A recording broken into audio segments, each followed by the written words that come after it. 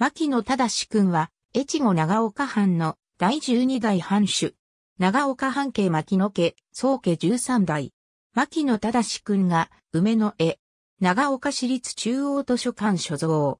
天保15年8月15日、丹後宮津藩主、松平宗秀の四、男として、江戸で生まれる。安政5年12月、長岡藩の第11代藩主、牧野忠親の養子となり、文久元年12月に、受護位した現場頭に除任する。慶応3年7月11日、忠親が隠居したため家督を継ぎ、駿河守に転任する。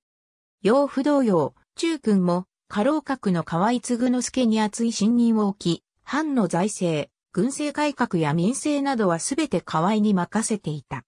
慶応4年、戊辰戦争が起こると、中君は、河合と共に戦争回避のため、奥羽越列藩同盟と新政府の双方と距離を置きながら、公部調和の権限書を新政府に提出する。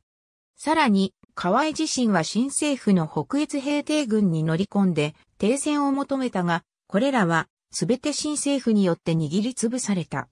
このため、ただし君は5月4日、河合と共に奥越列藩同盟に参加して、新政府軍と戦うことになる。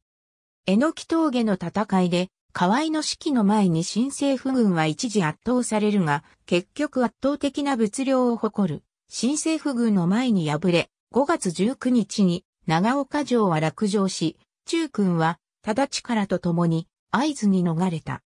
しかし7月24日、河合率いる長岡藩兵が、小宅地八丁沖を渡るという奇襲作戦で、長岡城を再び奪還した。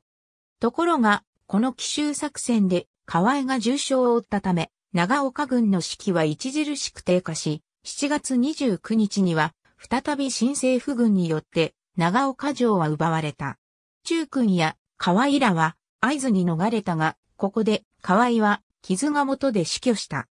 そして、中君も道の区仙台藩に逃れた末の9月23日に新政府軍に降伏した。新政府に逆らった逆賊として、中君は謹慎処分に処された上、長岡藩は所領、官位ともに没収とされてしまった。しかし、牧野氏が名族であることも考慮され、明治元年12月22日に、中君は藩主の座を廃され、代わって、忠親の四男、ただし武士を藩主として2万4千国に、現地の上で存続を許された。明治2年9月に罪を許されて、謹慎を解かれた。その後は、寒山と合した。明治5年には、事後位に服することも許された。明治8年6月16日、長岡で死去した。去年32。ありがとうございます。